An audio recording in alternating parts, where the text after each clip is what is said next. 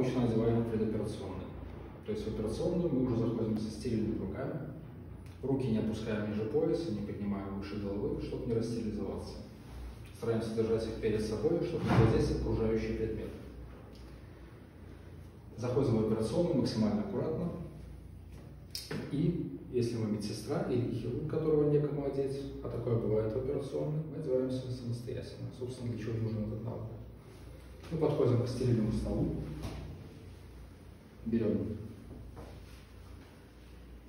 халат, аккуратно его разворачиваем.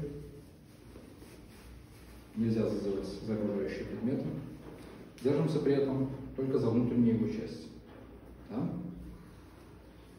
Затем, не принципиально, какую руку вы будете одевать первым, но одеваете ее очень нежно и аккуратно.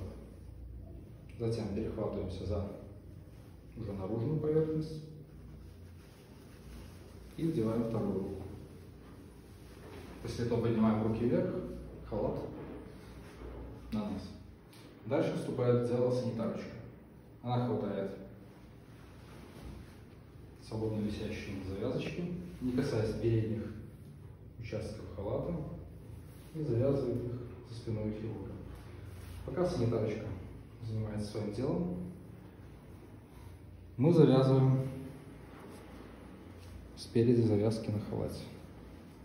Для этого мы делаем перекрест,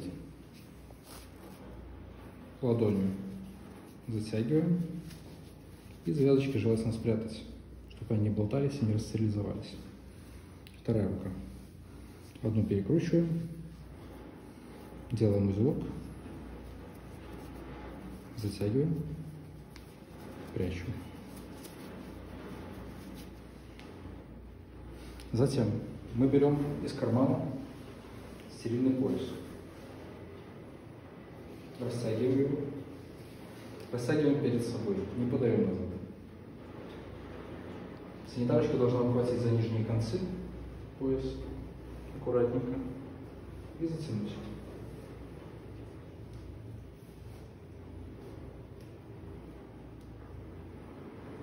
После этого мы надеваем стерильные перчатки.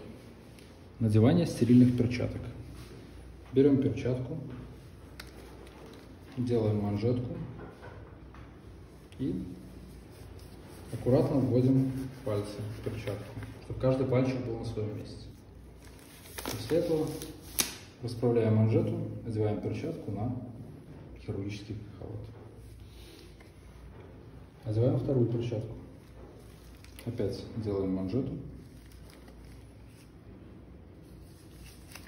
Вводим аккуратно руку, чтобы все пальцы были на своих местах. После этого закидываем манжету на хирургический костюм.